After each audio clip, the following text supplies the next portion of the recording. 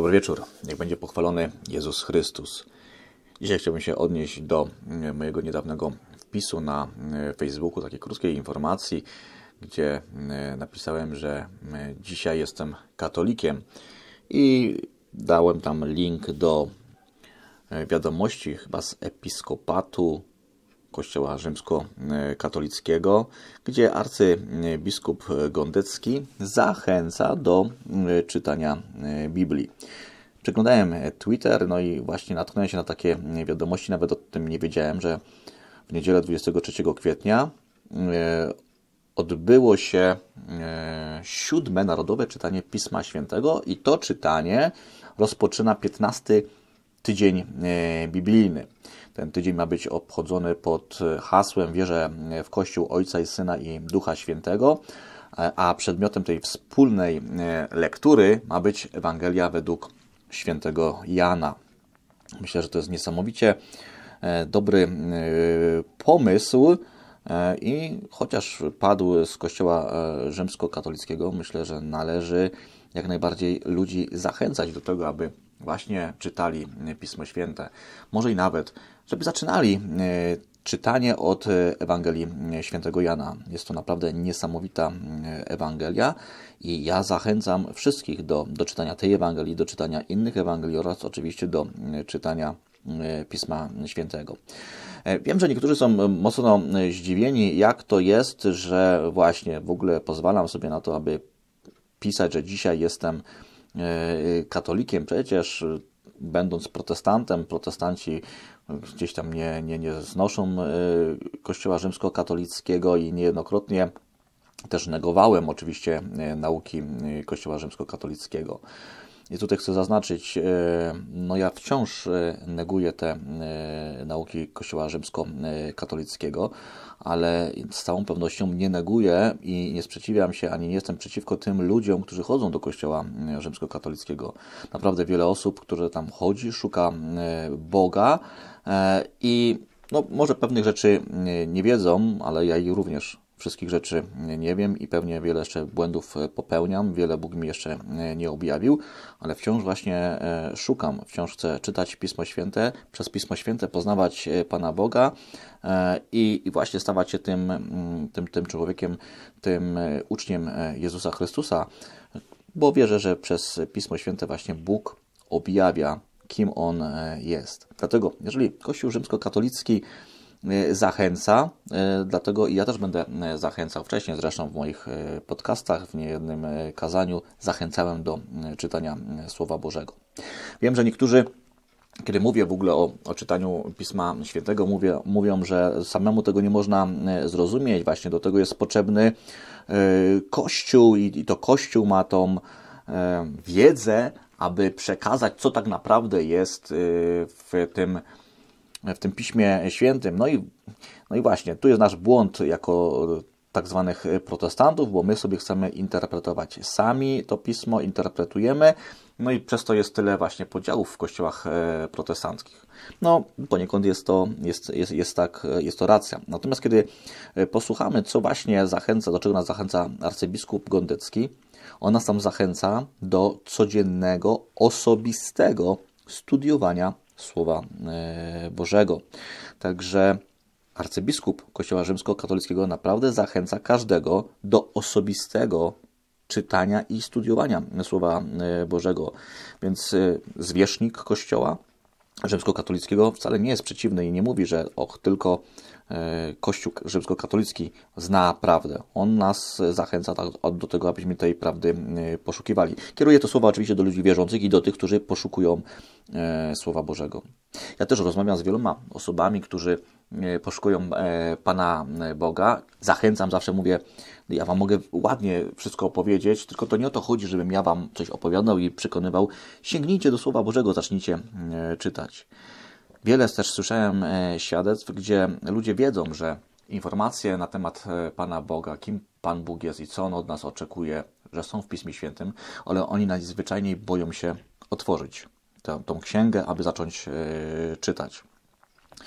Trochę byłem zdumiony, jak to po raz pierwszy usłyszałem, ale rzeczywiście dużo osób jest, które wiedzą, jakoś to wiedzą, że w Piśmie Świętym, że w Biblii znajdą rozwiązanie swoich problemów, w które się wplątali, czegoś, co zakłóca ich porządek życia, co sprawia jakieś obawy. Oni dokładnie wiedzą, że to znajdą w Piśmie Świętym, ale boją się go otworzyć.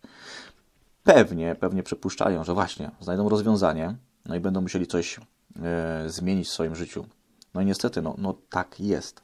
Natomiast kiedy my naprawdę szukamy pomocy, kiedy chcemy zmienić nasze życie, bo widzimy, że to, co do tej pory uskutecznialiśmy, tak jak żyliśmy, coś w tym brakowało, a niejednokrotnie no, no wszystkiego brakowało, ponieważ nasze życie zamiast być coraz lepsze, było coraz gorsze.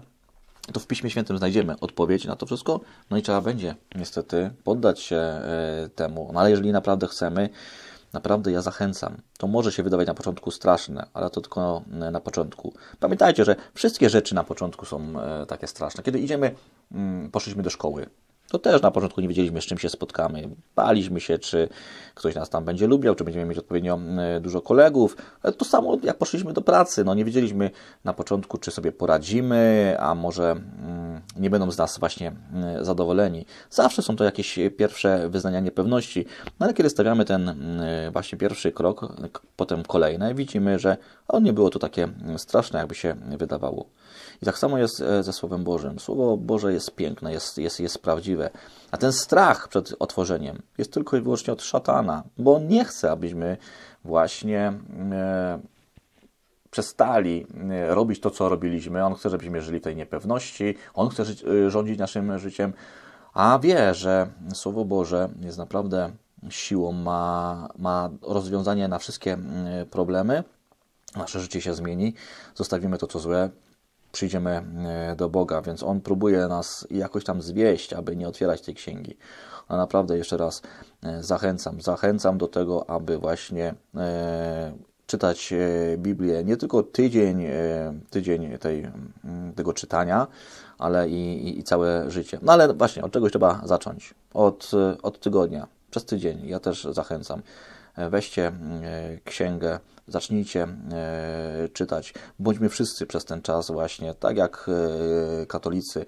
Jeżeli kogoś to mm, obrusza, że, że ja mówię, że dzisiaj jestem e, katolikiem, no powiem tak, no, nie, nie, będę oryginalny, powtórzę za pastorem Bartomiejem Kurylasem. No, jeżeli katolicy postępują tak jak Biblia mówi, to on wtedy jest tam katolikiem. Jeżeli zielonoświątkowcy postępują według tego, co Biblia mówi, to on jest zielonoświątkowcem. No ja dokładnie yy, tak samo myślę. No, nie wylewajmy też yy, dziecka z kąpielą i, pamiętajmy, że yy, Kościół rzymskokatolicki wywodzi się od tych no, pierwszych chrześcijan po prostu.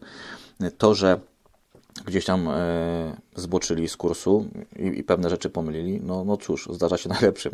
No bo popatrzmy na każdy kościół właściwie protestancki. Tak samo gdzieś tam wrócili na kurs, potem znowu odchodzili. No i tak to się po prostu mm, dzieje. Natomiast ja wierzę, że y, każdy z nas, czy to katolik, czy zielonoświątkowiec, metodysta, baptysta, y, czy, czy ludzie z HW, jeżeli będą właśnie czytali Słowo Boże, y, wpatrzeni w nie, to będziemy, chociaż czasami nam się powinie noga, zejdziemy z tego kursu, to będziemy wiedzieć, na co wejść z powrotem, na, na ten dobry e, kurs właśnie. Dlatego e, dzisiaj jestem katolikiem, przez ten tydzień jestem e, katolikiem i, i, i czytam Słowo Boże, będę czytał też właśnie tą Ewangelię Jana. Jak kogoś to bulwersuje, to powiem tak, znowu nie jestem oryginalny, powtarzam tylko za apostołem Pawłem z pierwszego listu do Koryntian, 9 rozdział i wersety od 19.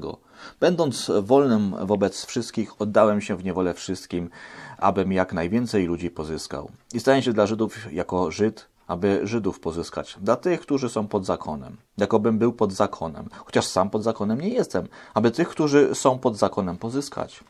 Dla tych, którzy są bez zakonu, jakobym, jakobym był bez zakonu, chociaż nie jestem bez zakonu Bożego, lecz pod zakonem Chrystusowym, abym pozyskał, aby pozyskać tych, którzy są bez zakonu. Dla słabych stałem się słabym, e, aby słabych pozyskać. Dla wszystkich stałem się wszystkim, żeby tak czy owak niektórych zbawić. A czynię to wszystko dla Ewangelii, aby uczestniczyć w jej e, zwiastowaniu. Ja również dzisiaj przez ten tydzień jestem katolikiem, czytam mm, Biblię, czytam e, Ewangelię Jana właśnie, aby pozyskać nie do, do swojego kościoła, nie do swojego zboru, ale dla, dla Chrystusa. Jeżeli ktoś będzie chciał, to serdecznie oczywiście mm, zapraszam do Spalding. E, tutaj mamy zbór, w którym ja e, służę. E, jeżeli nie jest Ci po drodze do Spalding, idź do innego kościoła, w każdym bądź razie do tego, w którym rzeczywiście czytają Słowo Boże, do którego się stosują. Tam po prostu idźcie, nie pozyskuję dla siebie, pozyskuję dla Jezusa e, Chrystusa, Jego Ewangelię chcę zwiastować, Jego e, słowo objawiać, pokazywać, no i zachęcać do, do czytania właśnie tego słowa. Także bardzo dobry pomysł. Już, już ten tydzień czytania Biblii jest, więc jeżeli nie zacząłeś od niedzieli, a słuchasz, bo nie wiem kiedy ten podcast się ukaże, to zacznij może od dzisiaj właśnie Zrób sobie tydzień czytania Ewangelii e, Jana. Zobaczysz, jak naprawdę Bóg mówi do nas, e, widzi nas, nie zostawi nas e, z problemami, także naprawdę serdecznie zachęcam. Pozdrawiam serdecznie, błogosławię, dobrej nocy.